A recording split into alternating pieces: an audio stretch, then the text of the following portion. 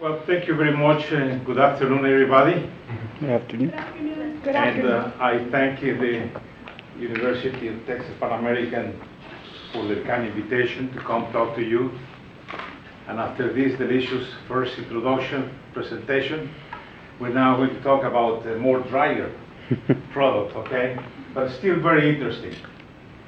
And um, what I selected today to present to you is um, the um, production of hydrogen and its applications. Today we hear about hydrogen off and on with several applications, but really uh, we know that hydrogen is used for fill up balloons. Remember the uh, Zeppelin that actually took um, uh, some kind of a, risk many, many years ago, and it exploded, right? Um, this, uh, since that, at that time, this uh, Zeppelin was filled up with hydrogen, but despite the fact that the hydrogen at that time was just today flammable, it was not the hydrogen that really provoked the accident. It was demonstrated later on, and uh, it was um, in the Smithsonian Museum, they removed a plaque that was uh, telling that the reason for the explosion was hydrogen. Actually, at that time, hydrogen was only the lifting uh, element of this uh, vehicle. And uh, uh, it was the components of the material that um, made this Zeppelin the ones that really created uh, the friction with the air, the friction between the materials in, uh, in this uh, vehicle created sparks. And at that time, the spark, I mean, the materials were used with phosphorus and sulfur and many other components that would provoke uh, a, a, sparking situation, and, and the incident was created that way. Okay, so the Smithsonian uh, Museum changed the plate. So hydrogen, yes, it is very explosive, but under certain environments. And the hydrogen also, I would say that uh, is so light that whenever it escapes into the atmosphere, it shoots directly into the atmosphere very fast and it burns in the atmosphere without creating that much um, collateral damage. This um, hydrogen is uh, actually used in many, many industries. At the, at, the, at the end of my presentation, I'm going to tell you what are those applications that are very important. But I think today you probably want to know how we make the hydrogen for these applications. Today, hydrogen is like any other uh, utility, is uh, a gas that uh, is consumed in tremendous amount of quantities.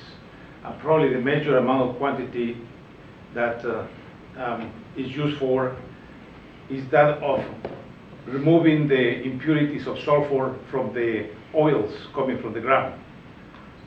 That's in refineries. If these oils are not removed, then we would not have the gasolines that we have today. So that's one of the most important applications for hydrogen, but there are other, important applications. I'll go with this first.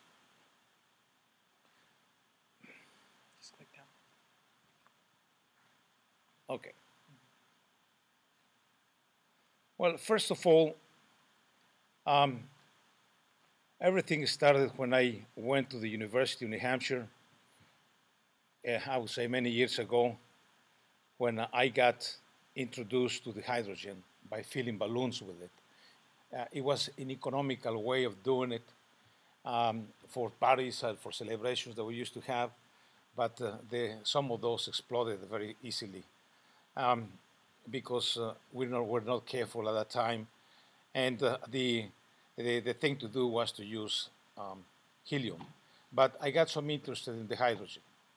Okay, so um, my interest already amounts to 30 years experience with hydrogen systems, and uh, we typically learn how to build industrial plants that produce this hydrogen.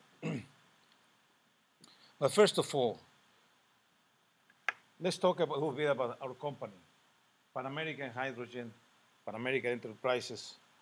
Um, started by being uh, with my with my company, myself, being a little bit inquieto, you know, and uh, um, working instead for a large corporation and try to work for myself, create a company, and uh, this company evolved. Of course, we had had already expertise from previous technologies, which is the purification and the generation of hydrogen with larger companies. But this is the way Pan American uh, uh, was created, and it was 30 years ago. 30 years ago. Uh, our company was created only to uh, market hydrogen generation plants. Since we were all engineers, and I'm an engineer too, uh, we specialize in the design, engineering, manufacturing, and installation of hydrogen plants, all in packaged plants, what we call modular plants. Okay, and uh, uh, we learned to do this in such a way that uh, we offer the the plants in a form that we call it turnkey projects. I'll let you know what it is later on. We sold these plants first in uh, Mexico, Latin America, now the U.S., and then around the world.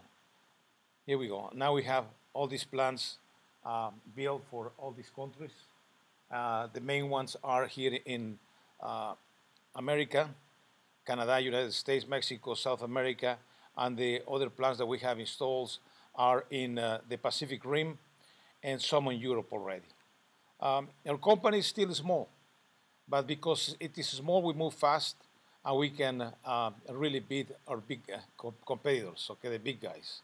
So that's one of the good things that we have on, with this company. Now, Imagine we started building smaller plants, which is this little one here, only 200 normal cubic meters an hour, and uh, if we translate to um, English units, it is 10,000 standard cubic feet per hour. That we build these plants for the application of hydrogenation of edible oils, vegetable oils. Uh, you remember that um, uh, many years ago, we used to do that here in the States a long time ago, before we, the trans fatty acids um, came into really um, criticism and the government avoided or uh, tried to forbid to put these materials, hydrogenation uh, vegetable oils, into our food. But I guess uh, just as um, the previous presentation say, okay, the the important thing is that uh, these trans fatty acids also create um, problems with health, just uh, uh, as any people that eat uh, too much of it. Um, today, in other parts of the world, this hydrogenation of vegetable oils is still common, uh, particularly countries like uh, India, Bangladesh, and they, they don't really care about this, what kind of damage they do to their system, because they are not they, they, are, they are not heavy, they are not fat. So um, this is what we started with these little plants many years ago. Then we built plants, larger plants, and as um, the time passed by, we were building larger and larger plants. So you can see that now a plant we have here is a, a plant for a refinery for um, purification of of oils, of um, refinery oils. Now, the production of hydrogen is very simple, chemistry. Anybody that has taken chemistry in high school will understand the chemistry for the production of hydrogen. This is one of the production of hydrogen, which is the largest one in the world. Probably 95% of the hydrogen is produced this way. It's called the steam methane reforming or catalytic reforming. And what it does is that we take the we take actually natural gas let me go into the next one. We take natural gas, which is CH4, and we combine it with hydrogen. And as you can see, the, the carbon combines with the oxygen of the water and generates CO2 and liberates the hydrogens. So um, this is the typical reaction that we have today. And uh, when we do this in reality, okay, as you know, not all the reactions are 100% converted. So part of it, I would say about 70% of the reaction is executed that way, but it comes out with impurities like CO and uh, CO2 and methane that did not react and water that did not react. So um, making hydrogen today, people ask me, how come you don't make hydrogen from water? Well, we do. Just like uh, there is a way to do hydrogen, make hydrogen with water via electrolysis, where you split the molecule of water into oxygen and hydrogen. Okay, here is the same thing about the same thing. We split the molecule, except that the oxygen will make it react with methane, with the carbon of the methane, forming CO2, okay, and liberate the hydrogen. Look, the methane has four hydrogens, water has two hydrogens. Okay, so this is a good source of hydrogen.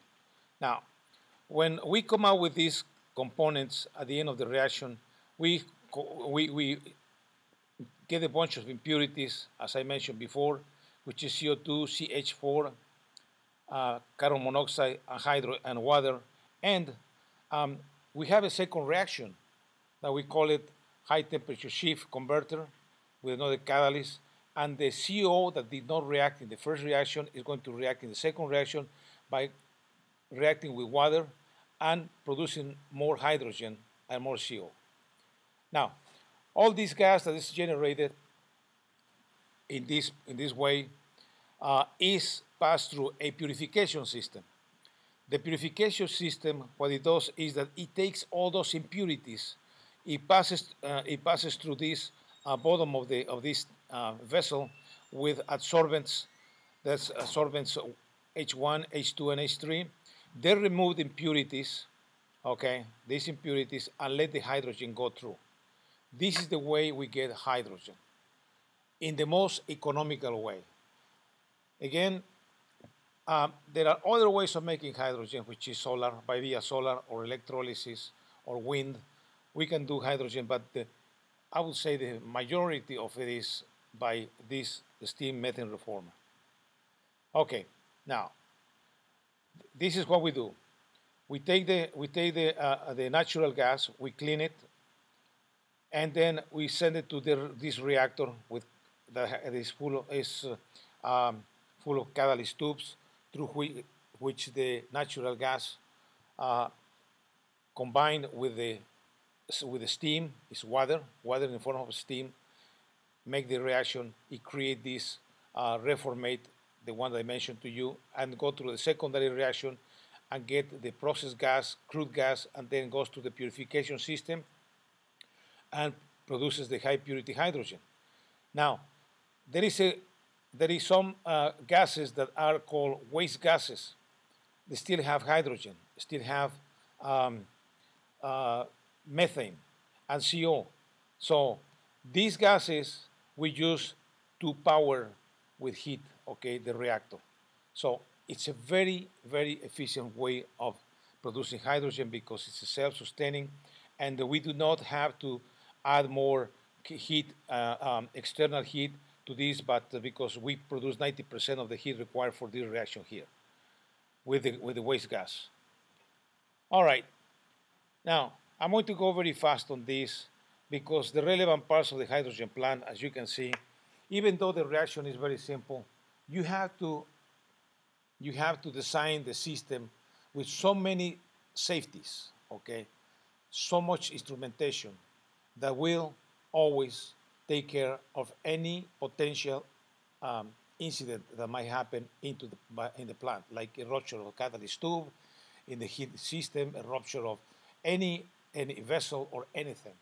The plant will be shut down immediately, and it is fully protected.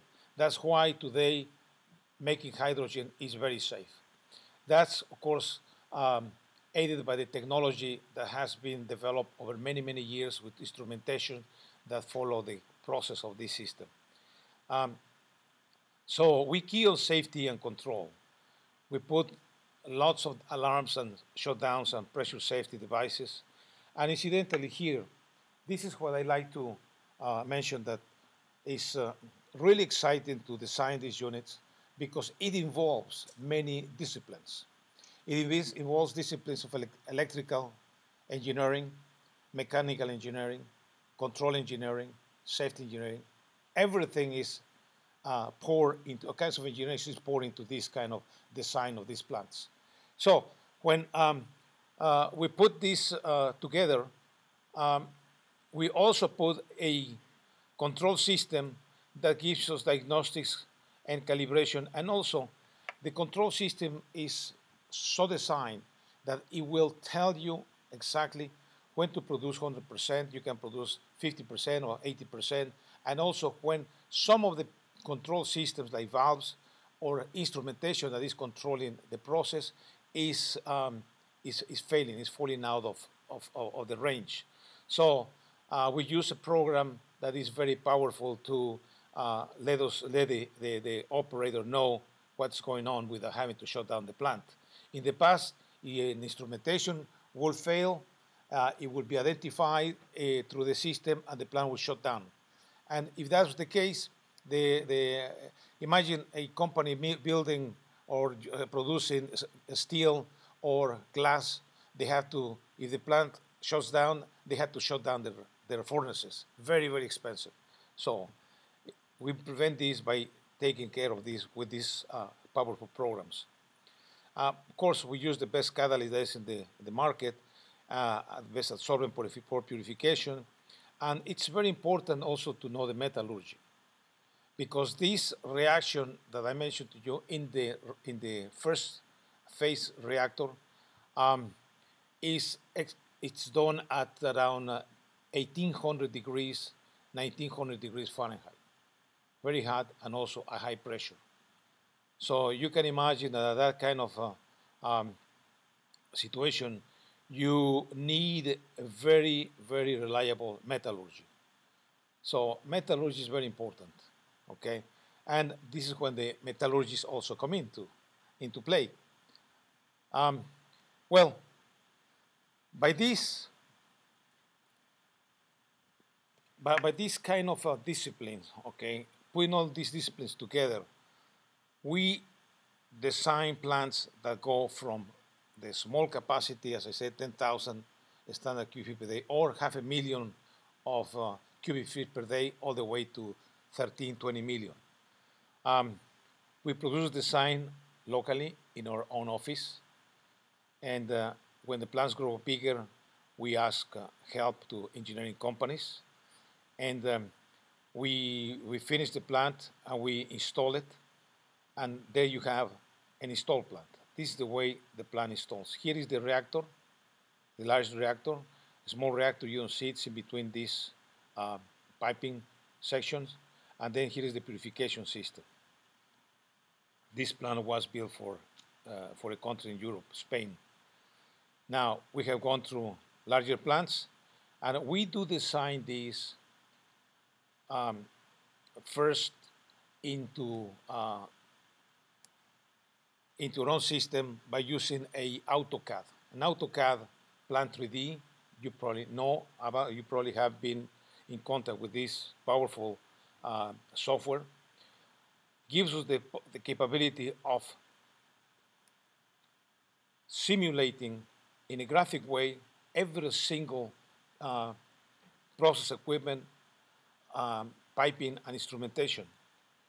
And this, when it goes to the, to the shop to be manufactured, and we have a manufacturing shop in Harlingen, where we do most of this uh, equipment, it ends up like this installed. Okay. Uh, today, um, we have very capable engineers uh, working with us, and we're always looking for more people, young engineers coming from the universities or beginning their courses in engineering in the university so they can come and learn with us. Okay, it's a very exciting um, kind of career. So uh, we can go and find another one, another example. This is again an AutoCAD uh, design, and this is the end the, the, the, end part of it, which is a plant already totally installed. Uh, this is one of the largest plants that we have built. It's a 12 million standard cubic feet a day plant. Now, now we know what the, the hydrogen does, how the hydro, how hydrogen is, is produced, and which kind of plants we build to produce this industrial hydrogen. Now, um, the importance of this hydrogen in today's industry uh, comes in its uses and applications. Uh, let me just mention a few of them, okay? Energy. Uh, hydrogen is used, is used to produce electricity to power communication towers. In areas, many countries that do not have the capability of, you know, the, the, the power lines to feed the towers, they have to bring, uh, I'm talking about towers, communication towers for cellular phones, okay? They have to generate the hydrogen or the electricity right there. Um, there are many ways of generating electricity. One of them is by bringing a, a, uh, uh, a, a, power generator, you know, a gas power generator, a gasoline or diesel power generator, except that um, in many of these towers, uh, it's to no avail because uh, the, the towers shut down when, they, when people steal the generators. So by the time they replace the generator, many people get without you know, out of contact, out of touch for many, many years or weeks. So, by bringing a system that uses hydrogen, people are really afraid of touching the hydrogen system, so it, it generates power, generates electricity, so the, so the towers keep on going, okay? That's one of the applications. And also in, in other countries where um, energy is very expensive, let's talk about Europe. Hydrogen is used a generate hydrogen generator, small hydrogen generator is put in a condominium area, for example, and this hydrogen is fed into fuel cells and generate electricity for the condominium. At the same time, the system generates water, uh, hot water, and uh, uh, to heat up the the, the, the, the housing in the condominiums. And also the water is very pure water that you can use for many ways, you know, for the gardens or anything else. Now, um, eh, the, the one that I mentioned before, refinery gas processing, eh, hydrogen is essential. Even today, you know, today they are built, they are, they are producing um, fuel oils, no, uh, oils, yes, from uh, um, bio, uh, uh in the bio industry. Um, they have developed the technology to produce uh, fuels from uh, wood chips, for example, okay, from other organic materials, leftovers, oils that are left over in the uh, in the industry, either either uh, uh, um, edible oils or any other oils like the oils, the mineral oils from your cars. Well, um, these uh, companies that have developed now these technologies, and you probably hear more about the bio uh, bioengineering, biodiesel, biotechnologies to generate uh, the fuels, hydrogen is very important. Without hydrogen, they cannot refine the products.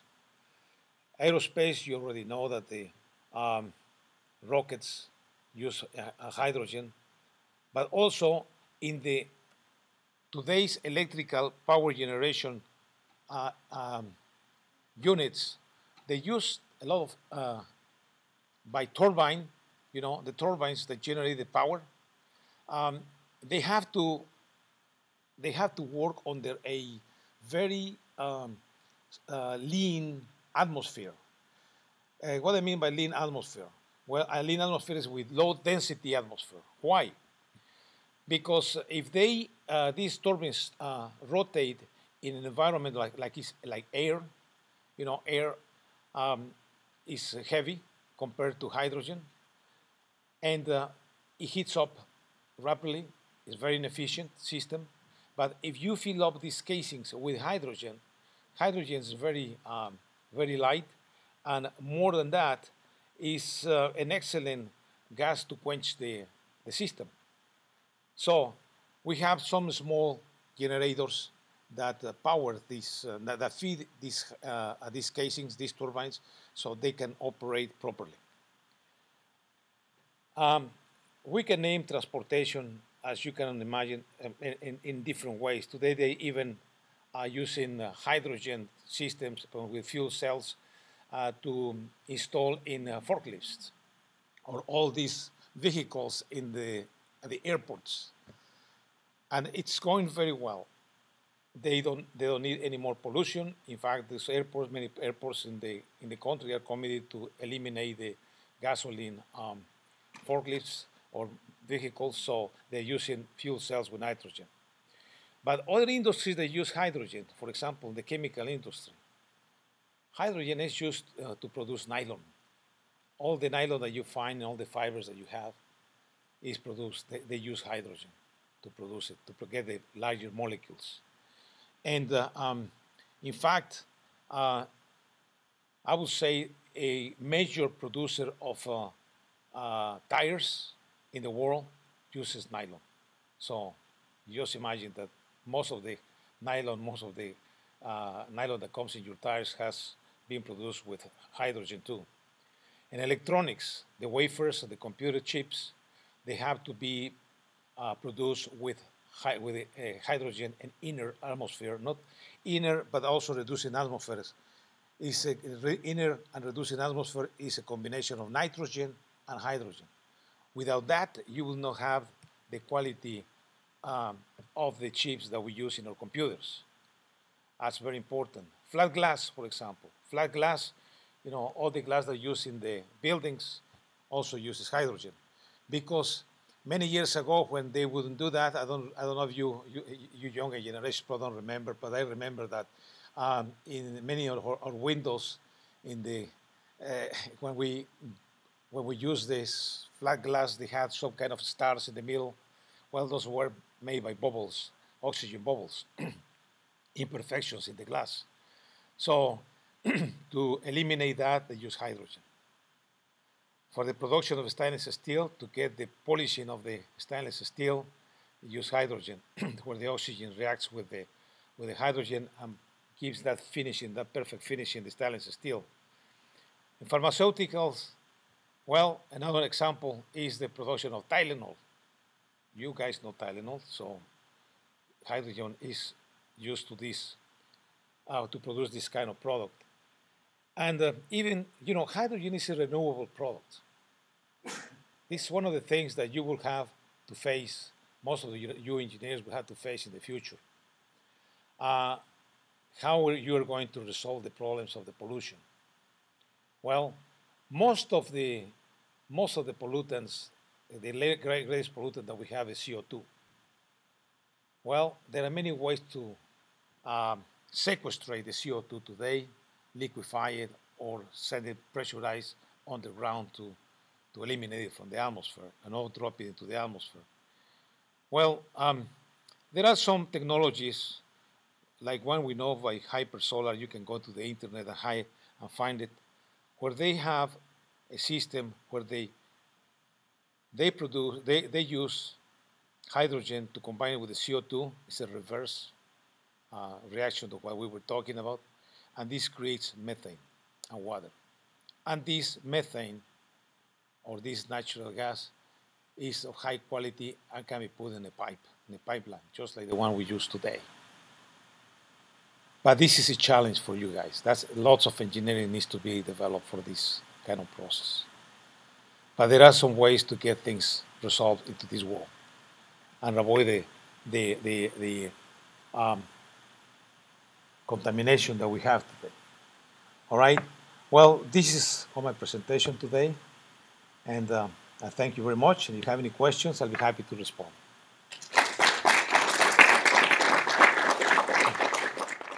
So, uh, this is a fantastic presentation. I wasn't aware that you guys were over in Harlingen. So can you oh, tell yes. me a little bit more about the company, how many employees you have? And I imagine with all those installations around the world, you spent most of your time going to Malaysia and, and everywhere else around the world to facilitate that? That's right, yes. Um, you know, when you are a small company, you want to grow uh, and, and, and uh, compete with the larger companies. Uh, somebody calls you from Malaysia or from Indonesia or from China or from Africa and say, hey, we need a quotation for a hydrogen plant. We say, sure, you know, and we can we can build a plan for you, wherever it is, wherever you go. Um, yes, uh, we are in Harlingen.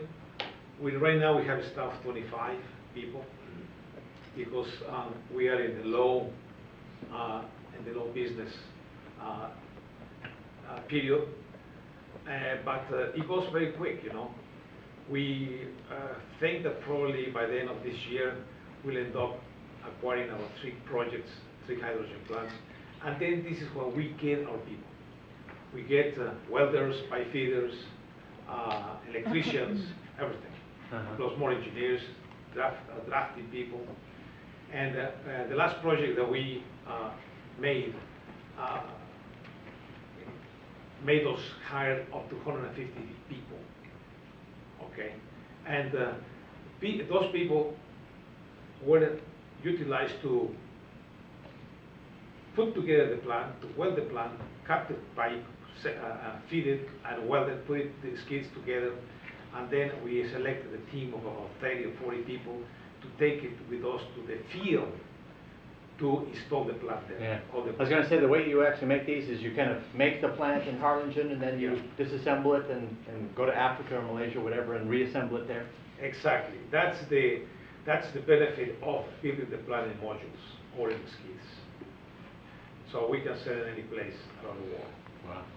Yes, go ahead. How long does it take to assemble and disassemble before you ship it? All right. Well, first of all, uh, let me just add this to the question, okay? It takes about 12 months to, to, to put the plant together, all the equipment, to assemble it. 12 months. Design, between design and uh, cutting and fitting and welding, uh, plus the engineering, of course. And then uh, buying the instrumentation, we have to buy instrumentation and, and uh, insert it into the, into the system, as well as rotating equipment and uh, valves, control systems, and everything else. That takes about 12 months for a medium-sized plant. For a larger plant, it takes about six, uh, 16 months to 18 months, much larger plant. So what we do is that uh, um, just to, uh, that's what it takes to assemble it, okay, altogether. Disassembling it, it probably takes only a few weeks. But then putting it back together, it will take about probably four to eight weeks in the field. And then what we do after that is that we proceed to do something that's called commissioning.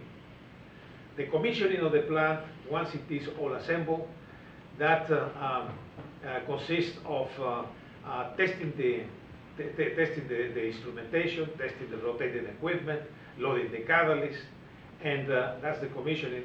And then once we do that, we start, we proceed to the startup. The startup is turning the, the, the reformer, the for, the furnace, the firefighting, that's a big event. Everybody gets, you know, all nervous, you know, doesn't know what's going to happen. Yeah, it's natural gas coming in, and uh, the, uh, but everybody gets, you know, right on the toes. And, it, it's exciting, you know, to see these people, you know, watching, just like a rocket, turning the rocket, going up in and in. And then you have to control it, to control the, they control the, the fire inside the, the reformer, make it, make sure that it has the proper size flame and high flame and, and there is no offset, so you don't, you don't destroy your system, your tubes, your catalyst tubes. And uh, uh, that, that part takes about uh, um, another uh, eight weeks altogether. And once we are producing hydrogen, because I, I don't want to go through the process because it's complicated of uh, uh, initiating the production process, but once we started uh, putting natural gas and, and, and steam and start producing crude hydrogen and send it to the purification system and produce pure hydrogen, then we do something that's called tuning. And we tune out the plant to, to make sure that it, it operates correctly at 50%, at 70 or 80%, at 100%, and then the plant is ready to give it to the customer. Yes? How long can you store hydrogen? It, obviously, the, the amounts of hydrogen that, that your customers need is, you know, the, where they need the, the actual, uh, the facility to make the hydrogen. Why, why aren't you selling the tubes of hydrogen to them? Like massive tubes of hydrogen and keep on reselling those tubes and recycling it with them? Right, uh, be- because of economics. It's very expensive to sell hydrogen in a high-pressure uh, cylinders. Okay. You probably have seen the, the, the tube trailers, long tube trailers, 40 feet long, and they have cylinders about this diameter, and they have it, uh, like a bunch there, like about eight, nine tubes in the, in the, in the flat bed. Well, they only carry a few cubic meters of hydrogen, high pressure. It will be extremely expensive. So even for a small for the smallest plant, okay, it's more economical to build small plant than carry this hydrogen uh, by, by tubes. That is done only when hydrogen is is used in a very small quantities. So, um, and not only that, for safety reasons. See, uh, sometimes what they do is that uh, uh, to carry more hydrogen, they liquefy it. But imagine, they still, to, to produce the hydrogen in gas, to pressurize it, to liquefy it, to store it in a, in a, in a cryogenic system, and then truck it to the, to the customer, and the customer has to do again the vaporization and to to uh, put it at the, at the pressure that they need to use it, so that's very expensive too. So it's better to put the hydrogen plant on site. What's the smallest plant that you can build? Would it be possible to build one that would fit in an international shipping container? Um, the answer is yes. Now, um, it is, it is possible, but now what we do is that, uh, below the capacity that I mentioned here, okay, which is smallest, ten thousand standard cubic feet per hour, um, below that capacity, we recommend to use the production of hydrogen via electrolyzer. When you, you plug the, the unit and uh, through an electrolyte, which is solid today, in a fuel cell that's today, you produce, generate electricity. Well, the reason I ask is because you're making it clear that, that your model here really isn't very scalable in terms of uh, building your company really big. Uh, And I was thinking of the way that they do computer centers nowadays, where they ship the entire rack of computer center stuff in a shipping container that they just put down and use it in situ, they don't even unpack it. Right. And if you could do something like that, you could do all of your pre-tuning here and then just ship them out and use them with- without having to send your big team of forty people out to do all those uh, pre-installation checks that you're talking about. That, that's correct. That's for larger units. For small, smaller units, we already have a system that fits on this, this size, okay? Just bring it into the, uh, in an offshore platform or in a ship or something like that, and then, um, just plug it in, and you get hydrogen. So it is entirely possible. And uh, what we do today is that we containerize those, those uh, systems and sell them to customers like power, uh, the power uh, generation companies. They use it, and we can do that too. Do you do uh, any remote diagnostics and, and all the tuning remotely, or does it have to be in person? Is- is That- That's a very good question, you know. We have, we, we have plants in Pakistan, okay? We have plants in Ukraine today, for example, in Spain. And uh, what we have done is we have installed a system so we can see the plant operating and control it right from here. Yeah, remote control. So uh, we can troubleshoot those plants. If they have a problem, and they call us and they say, well, just let's connect each other, and we see how it's operating, and then we give them recommendations. They can do that themselves. We train them to, to do that. So, yes. Um, what opportunities do you currently have for internships or student involvement or projects that you can give students to like get involved from like UTPA or, you know, anybody that is interested in like getting more involved with hydrogen, I guess? Is there like community involvement or outreach in the company at the moment? Uh, I would say yes, okay, but we need to develop. We need to develop, we need to talk to the, we need to talk to the, uh, um, to the schools, to the universities, and come out with a package that actually just an idea. Okay, let's say that we want to make the hydrogen car here, okay, in the area. Put one together. Well, let's do it with the, with the university, okay? Let's put together, let's put all these uh, engineering uh, disciplines together to put something together. First of all, to build the generation unit, and then uh, like a, a hydrogen fuel, fueling station, and then we can fill up the car. Or a tractor, or a uh, vehicle like a, a forklift or anything. So, yeah, there are projects like that. In addition to that, we would like to, uh, well, there is tremendous amount of opportunities to do hydrogen, okay? And there are, there- there there are also some programs, uh, nationwide, where we can uh, get together with the universities, enter into a competition for a project that they are coming out. So there are opportunities, yes. Do you know if the SpaceX program needs hydrogen? Um, unfortunately not. See, uh, they, they decided that they were going to use, uh, liquid methane, uh, LNG, and, uh, oxygen. Well, couldn't you use this to create the methane, based, using your hydrogen? Yes, it is, it depends on how you design it. But apparently it is more, it is, um, it is more economical to use for them, for their, their size, okay, of uh, rockets, uh, methane, that will give enough power to bring this uh, up to the stratosphere. But eventually they will use hydrogen. Yeah. Yes, sir. Sí, sí habla español, ¿verdad? Así es, sí, sí, sí, adelante. Eh, le iba a preguntar sobre la hidrogenación de aceites para convertirlos a, a, a grasa saturada. Es una práctica que se ha utilizado mucho en la industria alimenticia. Yes, uh, yeah, the question was that the hydrogen that is used to uh, hydrogenate vegetable oil is still a practice or has it been used in the past? Uh, la respuesta es sí.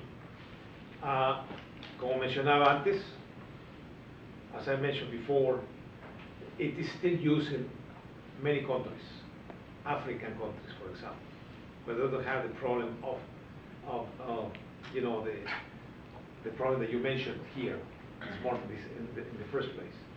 Uh, these people don't have anything to eat, they eat anything, they, they, they need the grease, they need anything, whether it is with trans fatty or not.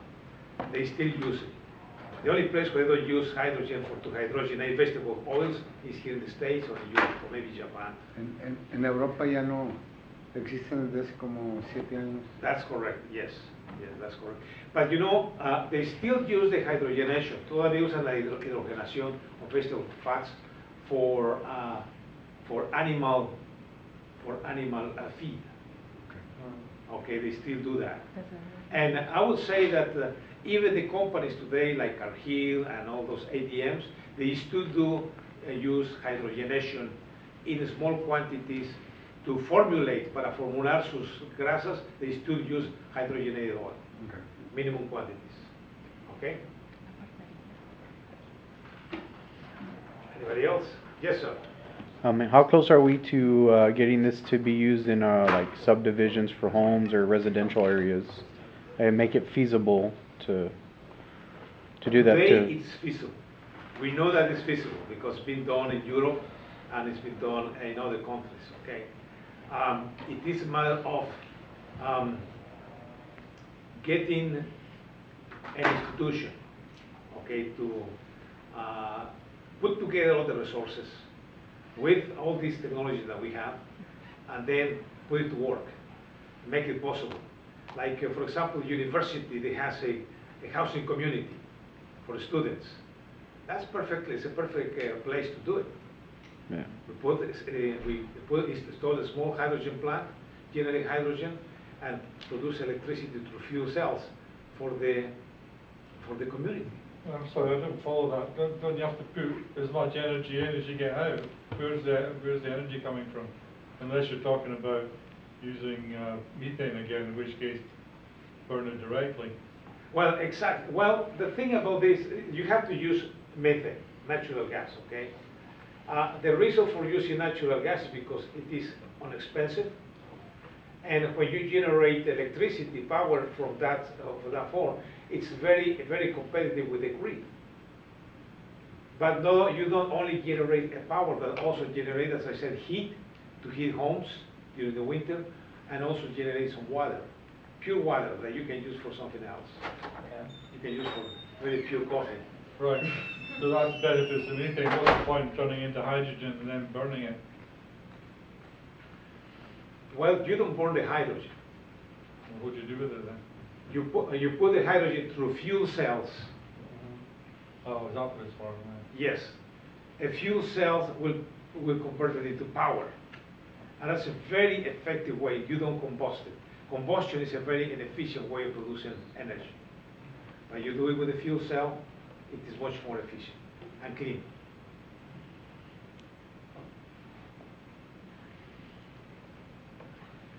So, yes. What is a fuel cell? Okay. All right. Um, a fuel cell, okay, a fuel cell is nothing else but uh, uh, a unit that has uh, um, two, uh, an anode and a cathode. Let's say, imagine a box like this. You have an anode and a cathode. Probably, no, no, not too big. Anode and cathode. Okay? Here you have a solution, electro, an electrolyte solution. Okay. Now, when you uh, when you put uh, current in one of these and an anode and the other cathode, okay, it, it it creates a dissociation of the water and hydrogen. Now, this is the old way of doing generating hydrogen with the- by via electrolysis. Today they use something that's uh, it's called fuel cell. It was invented by the NASA. Instead of having a solution, a, pot- a potassic solution here in the in between, they reduce this thing to very minimum and they use some uh, uh, some polyfiber poly uh, fiber uh, material that has the same the same functions as does the same function, same capability. So when you put uh, uh, when you put uh, um, the, the, the, the hydrogen in one way, it takes this, this, what this electrolytic uh, uh, um, electrode, takes the hydrogen, strips the, strips the electron from the hydrogen, and that electron is what creates the electricity. The electrode, the, the electrode, the proton actually, hydrogen proton, which is passive, no electron anymore, goes through the electrolyte here, goes to the other electrode, and combines with, with oxygen. Okay? And when it combines with oxygen, it's, uh, it's passive hydrogen with oxygen from the atmosphere and generates water. And, and it, that all creates a stream of power. And that's what generates the electricity. In fact, this is the kind of electricity that's used in, in uh, submarines, for example, in uh, uh, many other offshore uh, installations. And that's what it is. You, I, I I recommend you to go to the internet. There's a lot of information about that. Thank you. Cool. Yeah. Yes. Anybody else?